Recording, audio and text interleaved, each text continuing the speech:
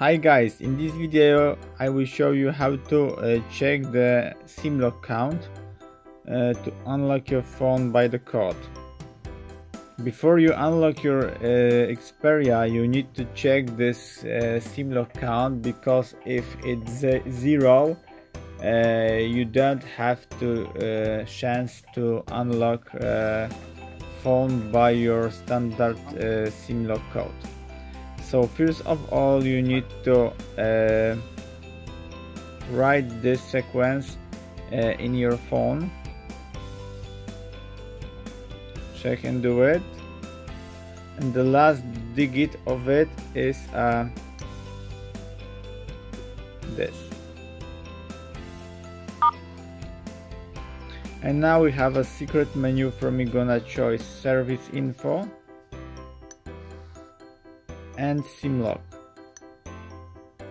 And voila, here you have see a few information about phone, but we're gonna interest about network. Uh, in my case, the uh, phone has uh, zero sequence to make the um, SimLock code, so it's blocked. Uh, if it was wasn't blocked uh, it has got one two three four or five digit but might have zero so it's generally blocked.